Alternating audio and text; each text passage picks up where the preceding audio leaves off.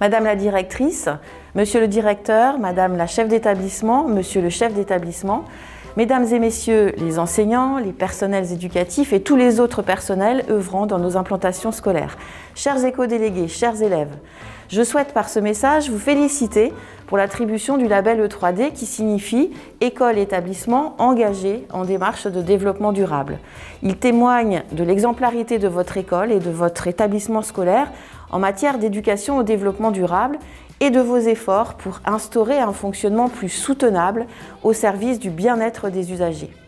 Qu'elle se déroule dans le cadre des enseignements disciplinaires, de projets éducatifs, de dispositifs pédagogiques transversaux ou des activités au quotidien.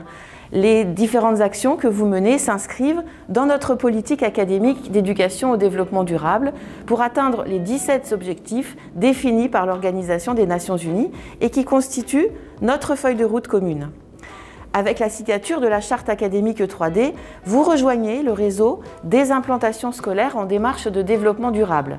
Cette signature marque votre engagement à poursuivre ce cheminement en associant les élèves et bien sûr tous les acteurs de la communauté éducative et en renforçant les partenariats extérieurs. La période que nous traversons est marquée par le changement climatique, l'érosion de la biodiversité, la pandémie, mais aussi des atteintes aux valeurs de la République et à la liberté d'expression. Tout cela nous rappelle que le bien-être de l'humanité passe par la mobilisation des citoyens pour promouvoir une société de progrès. Tel est l'enjeu de la labellisation E3D dans les écoles et les établissements scolaires de l'Académie de Bordeaux. Je vous félicite très chaleureusement pour cette labellisation.